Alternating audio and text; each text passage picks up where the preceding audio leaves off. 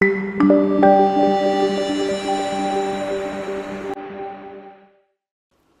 kính chào quý vị khán giả. Bảo Trân rất hân hạnh được đồng hành và gửi tới quý vị những thông tin cập nhật trên kênh YouTube Báo Pháp Luật Thành phố Hồ Chí Minh. Nội dung chi tiết sẽ được gửi tới quý vị và các bạn ngay sau đây.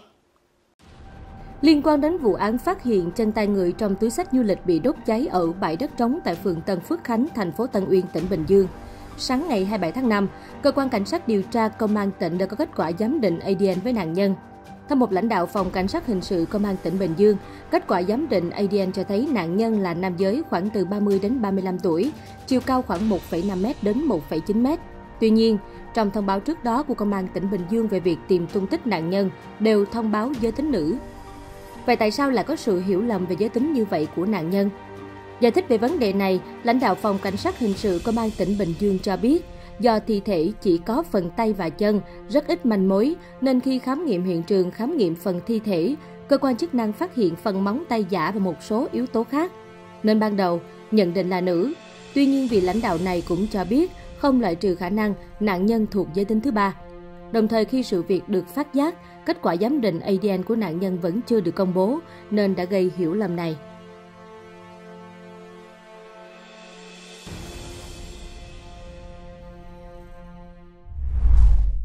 Đó, việc truy tìm nhân thân nạn nhân nữ trong vụ phân xác được phát hiện chiều ngày 24 tháng 5 tại khu phố Khánh Lộc, phường Tân Phước Khánh, thành phố Tân Nguyên, tỉnh Bình Dương, được tiến hành khẩn trương với sự vào cuộc của hơn 100 cán bộ chiến sĩ công an tỉnh Bình Dương.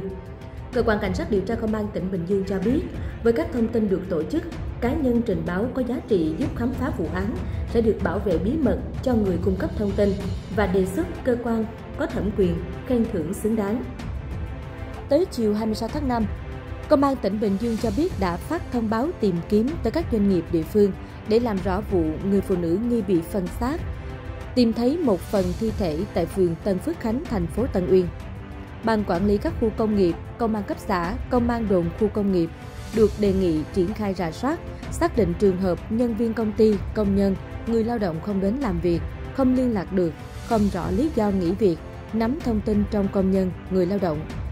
Công an tỉnh Bình Dương cho biết với các thông tin được tổ chức cá nhân trình báo có giá trị, giúp khám phá vụ phân xác sẽ được bảo vệ bí mật cho người cấp tin và đề xuất cơ quan có thẩm quyền khen thưởng xứng đáng.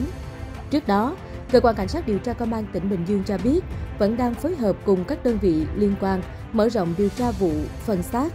Hiện các điều tra viên hình sự của Bộ Công an và Công an các tỉnh đã vào cuộc tìm kiếm các phần thi thể còn lại mở rộng điều tra.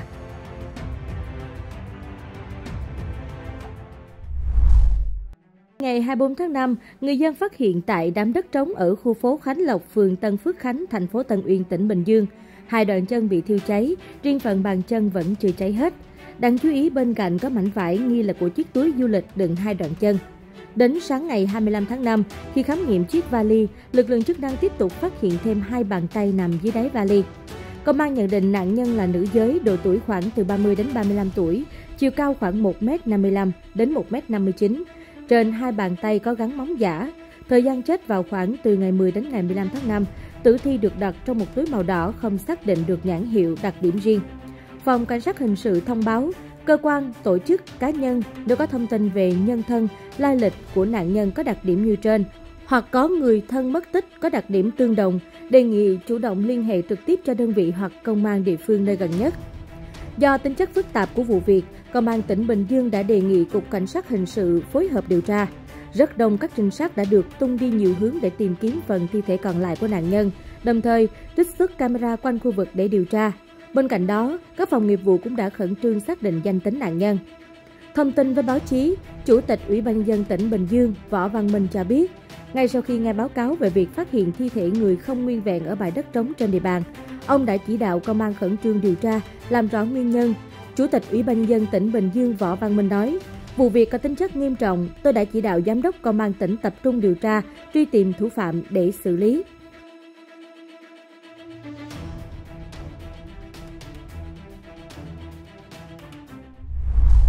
Liên quan đến vụ việc phát hiện hai bàn chân bị cháy bên trong vali ở bãi đất trống thuộc phường Tân Phước Khánh, thành phố Tân Uyên, tỉnh Bình Dương. Sáng nay 25 tháng 5, các đơn vị nghiệp vụ của Công an tỉnh Bình Dương vẫn đang phối hợp với Công an thành phố Tân Uyên và các cơ quan chức năng tiến hành công tác khám nghiệm để điều tra. Qua khám nghiệm trong chiếc vali chứa hai bàn chân bị cháy xém, lực lượng chức năng còn phát hiện thêm hai bàn tay bên trong. Hai bàn tay nằm ở phía dưới đáy vali nên không bị cháy. Qua nhận định của cơ quan điều tra, có thể đây là một vụ án mạng, nạn nhân là nữ bị phi tang thi thể.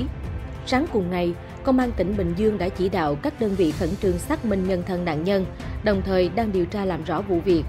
Theo ghi nhận của phóng viên, sáng nay cơ quan điều tra đã mở rộng khu vực phong tỏa tìm kiếm các phần thi thể còn lại. Khu vực phát hiện vụ việc là một bãi đất trống vắng người qua lại ở phường Tân Phước Khánh. Nơi này, cây cối rậm rạp, người dân vẫn thường mang rác ra đây vứt bỏ và đốt. Một người phụ nữ bán nước gần hiện trường cho hay, cách đây khoảng 5 ngày, bà có thấy ngọn lửa nhỏ phát ra từ khu vực bãi đất trống. Do nghĩ người dân đốt rác nên bà không để ý. Đến chiều hôm qua, một nhóm trẻ em đang chơi ở khu vực này thấy chiếc vali du lịch bị cháy một phần nên tò mò mở ra kiểm tra, mới tá hỏa thấy phần chân của người.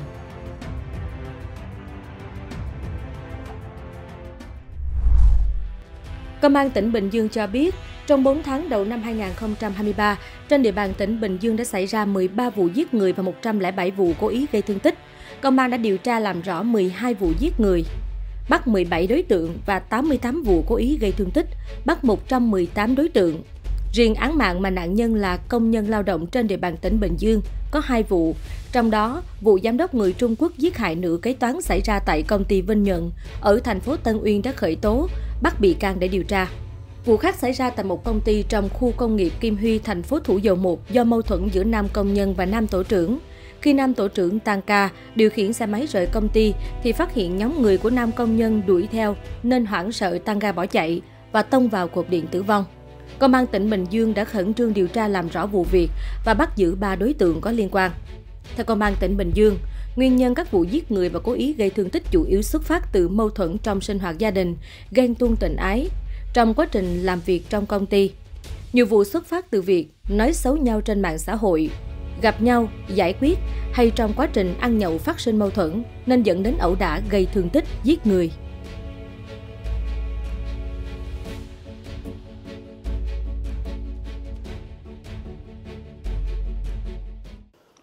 Những thông tin vừa rồi cũng đã khép lại chương trình của chúng tôi. Bảo Trân rất mong nhận được sự quan tâm và đồng hành của quý vị và các bạn dành cho các chương trình trên kênh YouTube Báo Pháp Luật Thành phố Hồ Chí Minh. Đừng quên nhấn chuông theo dõi chúng tôi để không bỏ lỡ bất kỳ thông tin nào. Xin chào và hẹn gặp lại.